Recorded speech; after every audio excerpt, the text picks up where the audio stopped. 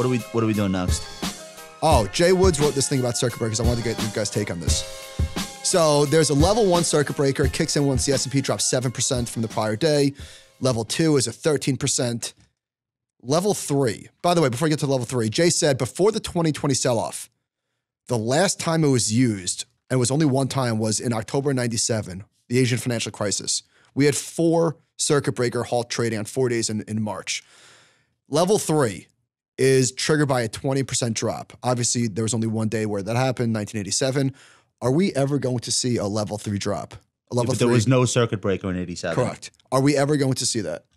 Uh, again, another thing that really wouldn't Sam? shock me.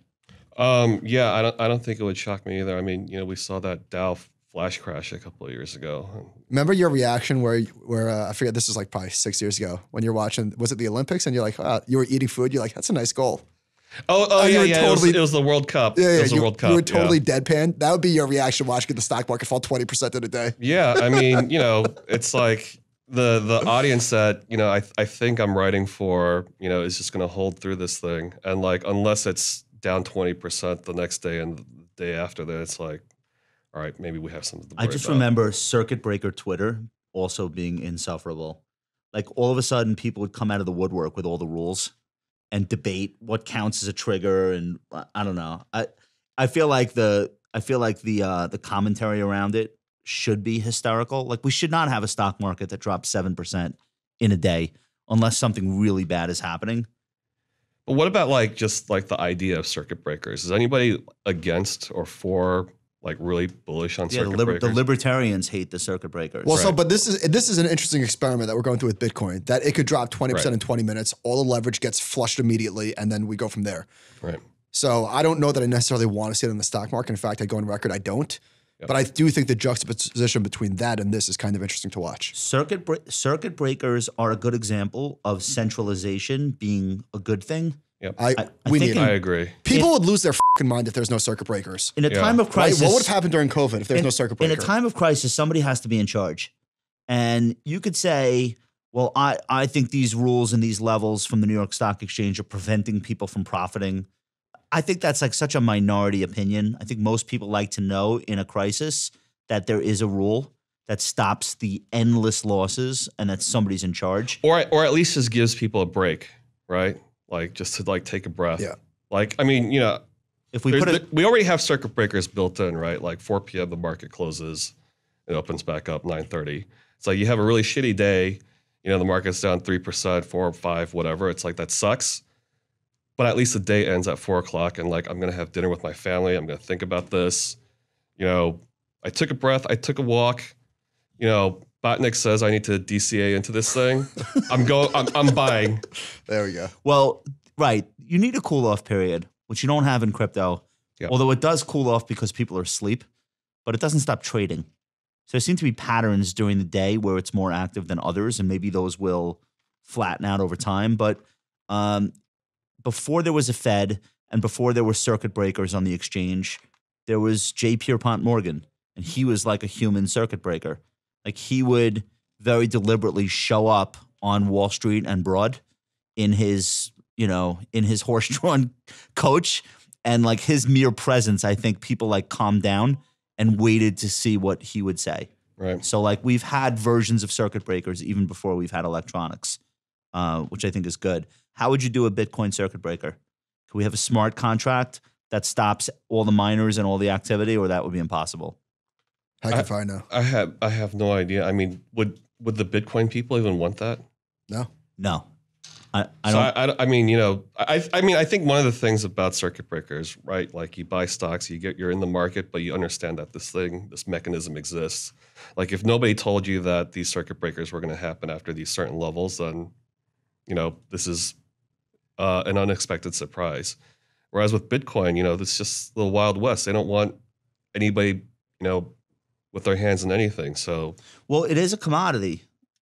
Like there was no circuit breaker for oil as oil went to zero last. Was that in April, Mid, middle of April or something? Why aren't there cir- there's no circuit breakers on the way up? I think there's less of a chance of seeing a market go up 20% in a day than down 20%. Well, I, I completely I don't think markets will ever go up 20% in a day. I can't imagine a scenario where that would happen. But like what about if for individual stocks? to curb the mania? Uh, the meme stocks, for example, should they be halted on the way up? Oh, individual stocks? Yes. No, nobody would be for that because like that's like the dream come true for investors is they own a stock that's up 20% on the day. Right. There's not one person that would be in favor of that. Short sellers would be in favor of that, but short sellers don't have enough influence to to get that done. Um, we're going to talk about why are we talking about Bed Bath and Beyond? Because the analysts, I don't know what bank this was at, said uh, basically said I'm out. I'm not playing. Bitcoin, uh, Bitcoin, Bed Bath and Beyond, and all these meme stocks. They're no longer trading on fundamentals. So actually, here's the quote. As a result, we moved to no rating as we believe shares of, of uh, Bed Bath & Beyond are no longer trading on fundamentals. Investors should no longer rely upon our previous investment opinion or price objective. What firm is this? This looks like Bank of America, Merrill Lynch. Yeah, Sam, this you do you do is B of analysts, A, right? yeah. You, you know, I think it's I think it's kind of odd. Isn't isn't the whole idea of having a price target that's not, you know, the market price like uh, the case for saying that it's not trading on fundamentals? Yeah, like, oh, this is a, and, and is of cop A, out. B of A, yeah, B of A too. Also, like what I'm, I'm pretty sure that they're one of the firms that you know when they do issue a price target, it's a you know quote unquote 12 month price objective. So, you know, That's a are, are, are they saying that like you know we think it, this is going to continue for 12, 12 months? Like I, I don't really quite Oh, understand. so right. What if they said ignore our price target in the short term, but by year end we expect the stock to be trading closer to whatever. what if what if they said in the short term the market is a voting machine? Uh, Sam, you read a lot of or you cover a lot of sell side research, Yep, right? yeah. Have you ever seen something like this? Um, yeah. Uh, there was, uh, you know, last year there were a handful of strategists that actually just, you know, uh, pulled their price targets on the S and P 500, I remember that. um, and that was just like super odd to me. Um, but no, this this is not really that usual. It- it's kind of like a bold statement. Like, like I, I think part of this is like trying to draw attention to the analysts so that you know when they do come back out with their price target, you know, everyone's going to cover it, right? Maybe, was- maybe this is someone who What was the rationale for them saying "For- forget our S and P 500 year end price target? Isn't that when you need their opinions most? They Yes. should re- they should resign. I, I think if like if they can't say mm-hmm. something constructive in that moment, and their approach to like thinking about markets is to say forget everything, like nothing we say matters. I mean, this is this is the job of an analyst, right? I mean, you know, To ignore the you- you- noise. You, do you do you do all the fundamental. No, no, not to ignore the numbers. To, No, but the to- noise, the noise. Right, exactly. To Yeah. ignore the noise and say that you know the the reason why we apply fundamental analysis to this thing is because this is what we think it's worth, and you know, over time we think this will eventually trade at that. You know, with with these meme stocks, I feel like supply and demand are the new fundamentals. Like, uh, and and actually, Gensler was talking yesterday about looking into some of this stuff. I don't know what regulators could possibly do here. Right. I think. I mean. I think um, one of the uh, the links to one of these stories actually goes to a guy who who says that you know B of A probably needs a technical analysis department. Yeah. So I was thinking that like the analysts are trained to analyze the business, but right now you need a stock analyst. You need somebody that or understands market structure. like, market structure, short positions, uh, sentiment. If you're not doing that, like at a minimum, then what the hell are you talking about? Right. The private value of this business off the market if it didn't trade? Nobody needs that information. Like Right. we need stock analysts. They need market internal information. GameStop has four analysts left covering the stock. There were nine in January. I'm surprised there were even nine in January. This was a tiny, basically worthless uh, business, but whatever. They've lost half their analysts with the same rationale. I think this is uh, I think this is Bloomberg. Um, Telsey Advisory Group was the latest firm to walk away from the stock, discontinuing coverage of GameStop earlier this week. Analyst Joe Feldman said the firm is always reevaluating what it makes sense to cover, given which stocks are attracting interest from its clients. Oh, come on, Joel Feldman. Your clients aren't interested in GameStop now because it trades 90 billion shares a day. So who who who is interested in this stock? The whole world. Yeah. Everyone. So What are you, know, talking about? so we have a lot of you know this sort of like um, you know quote page activity data at Yahoo Finance, and yeah, I mean the the traffic to to to tickers like AMC and GME and the meme stocks, it's just it's unbelievable. It's you know eight times you know what people are going to see when the like eight, eight times the number of traffic that you get on like the Tesla ticker. Let's sti- let's Wow. stipulate that that's all retail.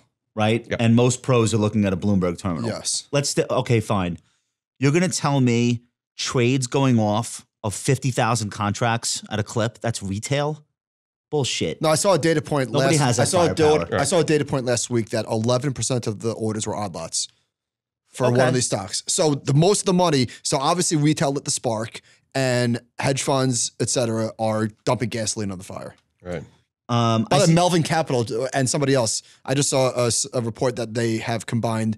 They had combined six billion dollars worth of losses in January.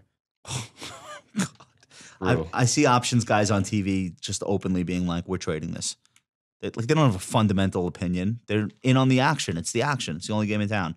Anything else on GameStop, Bed Bath and Beyond? I still like the store. Bed Uh, and Bath. yeah, it's a great store. By the way, that Someone should take. You know, why doesn't like you know Best Buy acquire them and just plug it into their business? that rally's not Best so Buy we- and Beyond. that rally's not so weird to me. The Bed Bath and Beyond rally, um, because it has a lot of short interest, but it's also the right sector. People are like fetishizing their houses, and I saw Restoration Hardware's earnings. The spike in the stock today, I think it's up 15% as we're talking or something like that. Why, how did Wendy's become a meme stock? Meme stock was that short interest? I didn't see the story there. It's super weird because the short interest is low, and the more they push that stock up, the more money they make for Nelson Peltz, who's a who's a billionaire the man. who owns most of it. so that one's I was a big junior bacon cheeseburger guy in high school. what, what Wendy's. Yeah, Oh, I'll f- up some Wendy's right now. It's been it's been a, it's been a minute, but and I still think they have better chick spicy chicken sandwiches than Chick Fil Yeah, A. it's, it's it's the best chick, uh, spicy. Oh, chicken there we, we don't need to spend much time there. I think we all agree. right? Bow down to Wendy's spicy chicken. All the listeners agree too. Um, I'm literally getting Wendy's in like an hour.